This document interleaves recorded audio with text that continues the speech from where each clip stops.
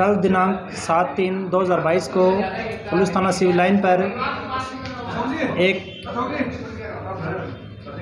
मुकदमा दर्ज हुआ है, जिसके अंदर परिवादी ने बताया कि वह शास्त्र नगर के पास खड़ा था।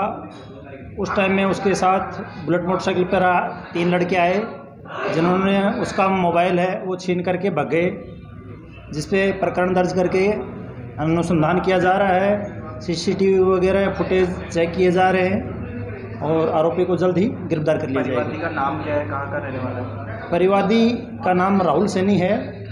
ये चोमू का रहने वाला है और ये अभी नरसिंह महाविद्यालय में द्वितीय वर्ष का छात्र है। आपका नाम? Sajjan Singh head constable eighty one.